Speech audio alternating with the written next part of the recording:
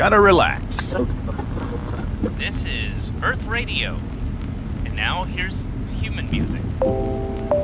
Who needs Tesla? Hmm. Human music. I like it.